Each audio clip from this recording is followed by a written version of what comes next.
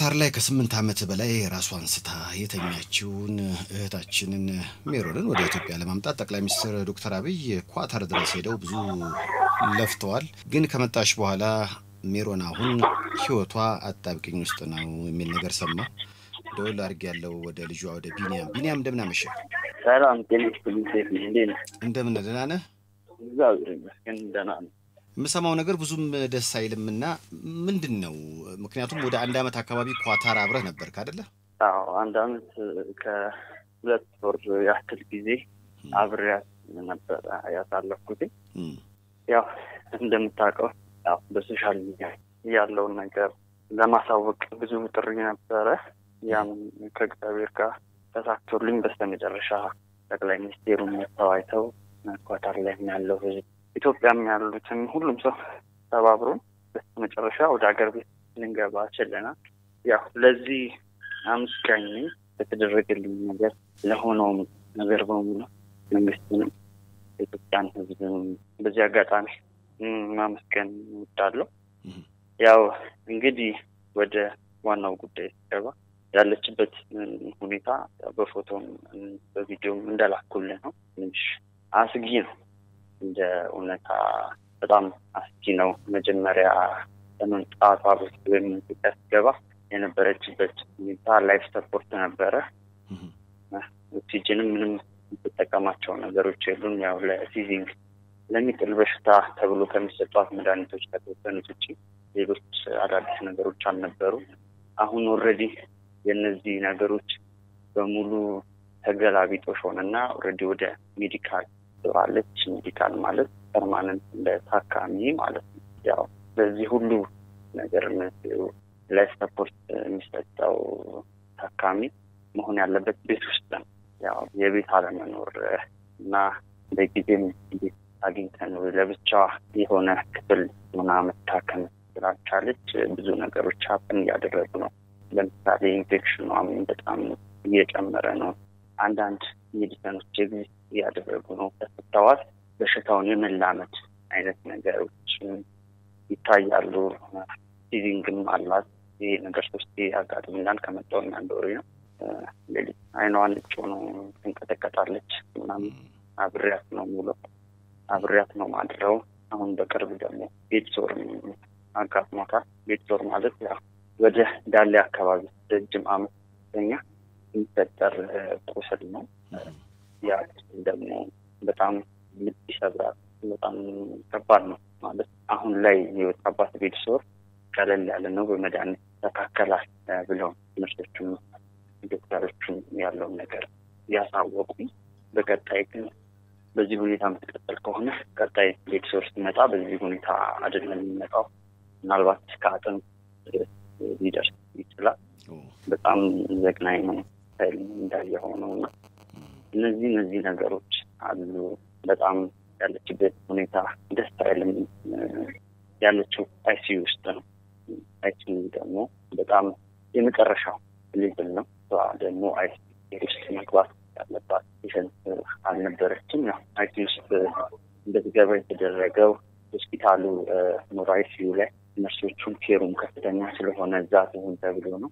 እንደ ዋናነት ቆንጂት ሆስፒታል ውስጥ መግባት በራሱ ኢንፌክሽኗን ያበዛዋል። ኢንፌክሽን አለ በባህሪ ሆስፒታል ውስጥ መቆየት በራሱ ለ life support የሚሆን አይደለም። ያው የሀገራችን የእንትን የሕክምና ይዘቱ ለ life support ተብሎ ለብቻ የተዘጋጀ ስላልሆነ ኳታር እንዳለው እዚህ ሆስፒታል ውስጥ በቆየች በእያንዳንዷ ቀን ውስጥ infection ኖቿን develop የማድረግ ነገር አለ። ኢንፌክሽኗ በዚህ ሁኔታ የሚቀጥል ከሆነ ምናልባት በመጀመሪያው መድኃኒቱ ሲሰጣት ሴቲቲ ሲሰጣት እየወረደ መጥቷል። ግን በድጋሚ ከፍ ካለ ግን መድኃኒትን ከውጭ ሁላ ለማስመጣት ትገደዳለህ እና ያለችበት ሁኔታ እንደ እውነት አይል አይዞህ ምክንያቱም ያው እንደ ልጅ ይህንን ሁሉ ዋጋ ከፍዬ ህዝብ ፊትም ጭምር አልቅሼ ያስገባኋት እናቴ ነች። ለአንድ ቀንም ቢሆን ፍቅሯን ማየት ለእኔ ከባድ ነው። ስለዚህ እናት እንዳለው ሰው ሀገርም እንዳለው ሰው ከምንም በላይ ሀገሬ የሀገሬን ሕክምና የሀገሬን ዶክተሮች የሀገሬን ነርስ መርጬ ነው ሀገሯ እንድትገባ የወሰንኩት። ዘጠኝ ዓመት ሙሉ ነው የሰው ሀገር ያሳለፈችው። በተዘጋ አንደበቷ ኢትዮጵያ እንዴት ትፈልጊያለሽ ስላት አዎ ላይ ሀገር ቤት የገባችው በሀገሬ ሕክምና በሀገሬ ነርሶችን ባለው በሚሰጠው ነገር አምናለሁ፣ እኮራለሁም። በቀጣይ ዶክተሮቹን ነርሶቹን ይህንን ነገር በተደጋጋሚ እየነገሩኝ ነው። ሆስፒታል መቆየቷ ለሷ የከፋ ሁኔታዎችን ያመጣል እንጂ ነገሮችን የማስተካከል አቅሙ በጣም ዝቅ ያለ ነው። ምናልባት ላቋርጥና ቢኒ፣ አሁን እናትህ ቆንጅት አንድ ቤት ውስጥ ብቻዋን መሆን አለባት። የህመሙ አሁን ያለችበት ደረጃ ንጹህ አየርን በጣም ይፈልግ ነው። አለበለዛ ነገሮች በጣም እየከፉ መጥቷል ነው እያልከኝ ያለው። ይህንን በተመለከተ እንደው ወደ ሀገር ውስጥ እንድትመጡ ያደረጓችሁ አንድም ጠቅላይ ሚኒስትሩ ናቸው እና እሳቸው እንዲያውቁት ወይም ደግሞ በእሳቸው ስር ያሉ አካላት እንዲተባበራችሁ ያደረጋችሁት እንቅስቃሴ የለም? አለ ከሆስፒታሉ ሲዎች ጋር ነርሶች አለቃ ከሲስተር ራሄም ጋር አውርተናል። ባለፈው መጥተው ነበር። ያለውን ችግር ተናገር ያለውን ሙሉ ለሙሉ ከምግብ አንስቶ ከኪሴ ነው አንዳንድ ነገሮችን እያደረግኩ ያለሁ Ensure ነው የምትጠቀመው ምግብ already እስካሁን ያወጣሁት ወደ አስር የሚጠጋ ብርን ወጪ ያደረግኩት ምክንያቱም ምግቧ Ensure የሚባለው ነገር ሆስፒታል ውስጥ አይገኝም። ሆስፒታል ውስጥ ስለሌለ ከሸዋ ሱፐር ማርኬት ብቻ ነው የሚገኝ። አንዷ ትንሿ ጣሳ ሰባት መቶ ብር ትሸጥ። ምናልባት አንዷ ጣሳ ለአንድ ቀን ከግማሽ ወይ ለሁለት ቀን ነው የምትሆነው። በዚህ በአራት ቀን በአራት ሰዓት ልክነት ነው የምትወስደው። የተቻለን ያክል እየጣርኩ ነው። አይዞህ ምን ያደረገ እንደሆነ እኔ already ደረሰኝ information የለም። ግን እሷ ሆስፒታል ውስጥ መሆን በጣም አደጋ ላይ እየጣላት ነው። እንደ እውነት respond ማድረግም እየቀረ ነው። ፔሽን ውስጥ የመግባት ነገር በጣም በከፍተኛ ሁኔታ አለ። ነገሮቿ አይዞ አይዞ እንግዲህ በጸሎቱም በሁሉም የሚተባበሩ ብዙ ወገኖች አሉን ብዬ አስባለሁ። ምናልባት አድማጮች ለማስታወስ ያህል ኳታር ውስጥ ለስራ ሄዳ በተዘጋ ቤት ውስጥ ከከሰል ጭስ ጋር በተገናኘ ነው እንግዲህ አደጋው የደረሰው የተባለው። ላለፉት ስምንት ዓመታት በኳታር ራሷን ባለማወቅ ሕይወት ውስጥ ነበረች። እንግዲህ ወንድ ልጇ ቢኒያምን ብቻ ነው በምድር ላይ የምታውቀው። ጠቅላይ ሚኒስትር ዶክተር አብይ ኳታር ለስራ በሄዱበት አጋጣሚ ኢትዮጵያውያኖችን ሲያወሩ ነው እንግዲህ ከመሀል አንዱ ኢትዮጵያዊ እኛን ከምታናግረን ላለፉት ስምንት ዓመታት ሆስፒታል ውስጥ ራሷን ስታ ያለች ዜጋችን አለች፣ እሷን ጎብኝልን በተባሉት መሰረት ስብሰባ አቋርጠው ነው አደለ ጠቅላይ ሚኒስትር ዶክተር አብይ ወደ ሆስፒታል የሄዱት? ቢኒያም አዎ አዎ፣ ስብሰባ አቋርጠው የሄዱትና መጥተው በእውነት በእውነት ከልብ ኪዳነ ምሕረት አክብር ማለት እወዳለሁ። እሳቸውን እንደ ሰብአዊ እንደ አንድ ሰብአዊ ሰው እንደ አንድ ለሰው ልጅ ፍቅርና ክብር ካለው ሰው የሚጠበቅ ነገር ነው ያደረጉልኝ። ስለዚህ አክባሪያቸውና መስጋኛቸውን እግዚአብሔር ያክብርልኝ ማለት እወዳለሁ። በዚህ አጋጣሚ ሰይፌ እንግዲህ በሰይፉ በኢቢኤስም ያንተና የእሷን ጉዳይ እንዲሁ ለማቅረብ ሞክረን ነበረ።